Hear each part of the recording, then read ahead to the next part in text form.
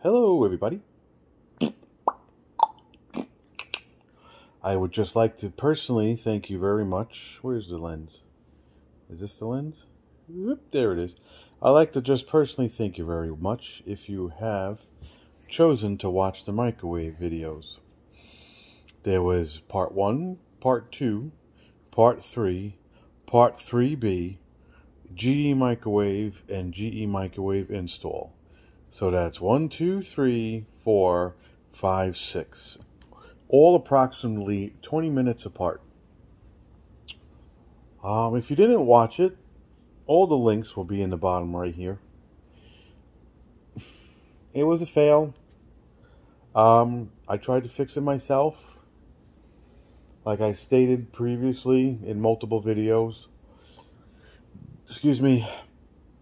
For a couple of dollars and for it being a microwave, I think it was able to like be down for a while. This way you could try to fix it. Some people can't fix it, some people don't know how to fix it, and that's okay. I don't know how to do everything. So, um, during this video, right this second, all three refunds were cleared.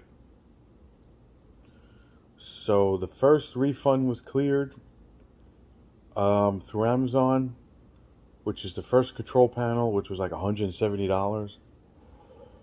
The push buttons with the control panel connected from eBay was like 112 or 14. That went through.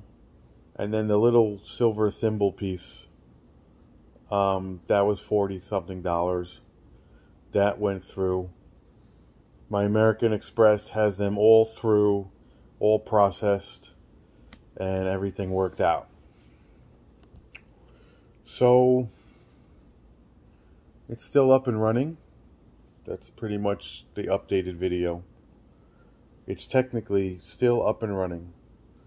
Um, I want to say I installed it last week. Today's Tuesday. This video is going to go up maybe Saturday. So the better part of a week it's been up and running. We've used it.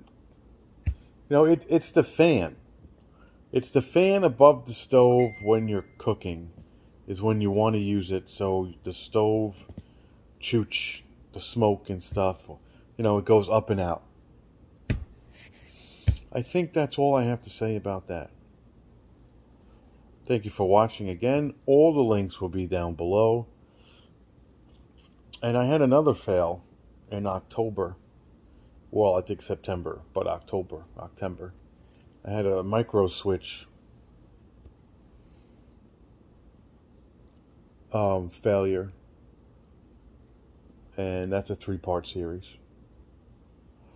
Um, I guess what I'll just say right now, as my thoughts are coming in, is I threw it all out.